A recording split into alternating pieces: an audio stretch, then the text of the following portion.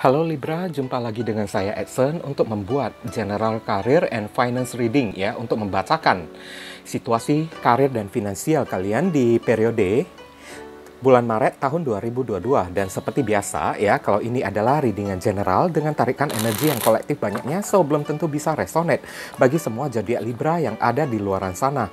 Oleh sebab itu, saya memohon kebijaksanaan, kedewasaan, serta kearifan kalian di dalam menanggapi serta menelaah segala macam bentuk readingan saya ini dan jangan kalian bawa baperan terlebih dahulu ya guys ya. Karena bisa jadi energi yang kebaca di dalam readingan saya ini adalah vice versa, kebolak-balik, move and flow, sesuatu yang mungkin saja sudah pernah terjadi di dalam kehidupan kalian, atau bisa saja energi yang saya bacakan ini adalah sesuatu yang sedang terjadi di dalam kehidupan kalian. Dan tidak tertutup kemungkinan juga energi yang saya bacakan ini adalah kali aja ya belum terjadi di dalam kehidupan kalian dan ditakutkan bisa terjadi nanti ke depannya. Oke, jadi anggap saja sebagai entertain atau hiburan bagi diri kalian di mana readingan yang baik-baik, yang positif kita aminkan, jadikan sebagai pengharapan yang tidak baik kita jadikan sebagai antisipasi. Oke.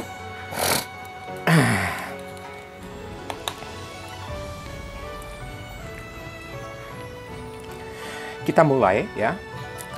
Heavenly God and Universe, please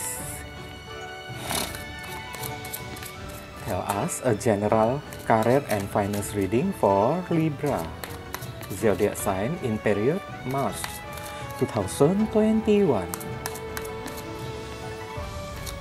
22 ya, sorry ya.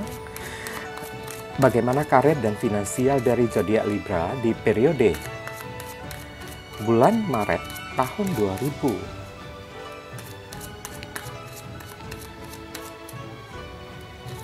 Dua dua.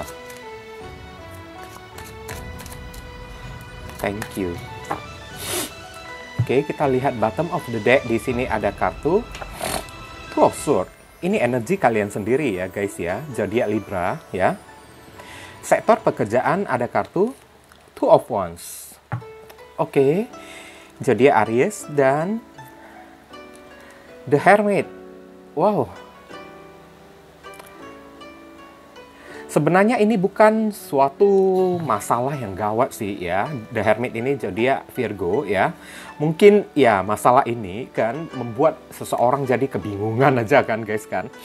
Ada kartu King of Swords ya. Nah, keputusan ya se secara bijaksana ya. Ini adalah energi zodiak Taurus. Untuk sektor keuangan ada kartu Six of Cups. Zodiak Scorpio. Ada kartu Wheel of Fortune. Wow, bagus ya, guys.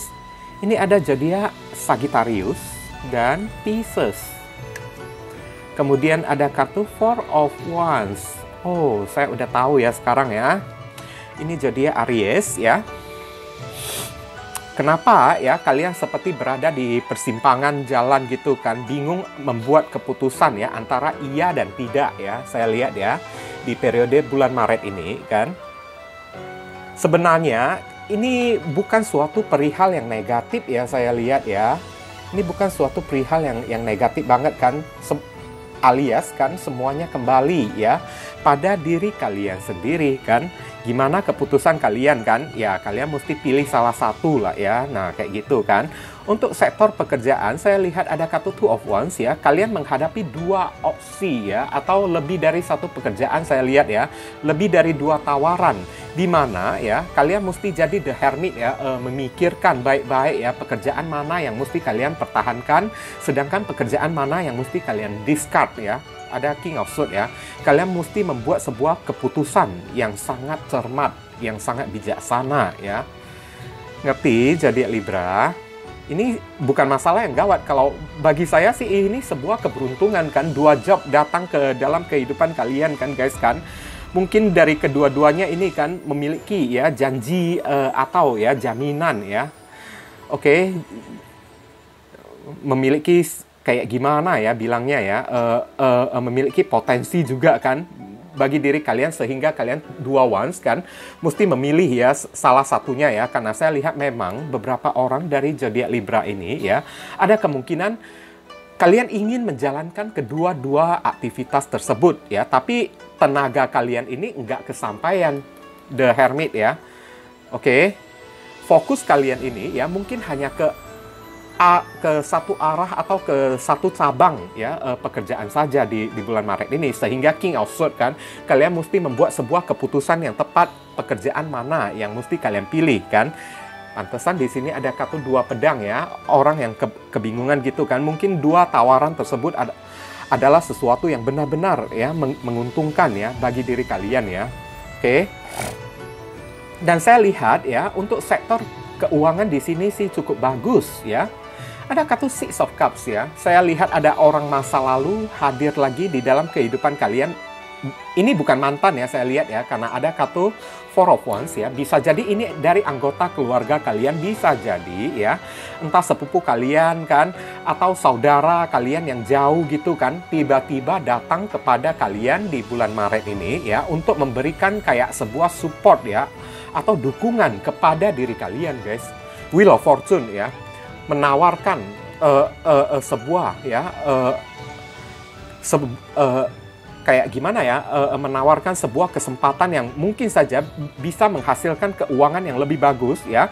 Sedangkan kalian sudah fokus-fokusnya ya kan um, mengerjakan ya pekerjaan kalian tapi orang ini datang memberikan opsi lain berupa tawaran yang sangat bisa memberikan keuntungan juga. Itulah sebabnya ya.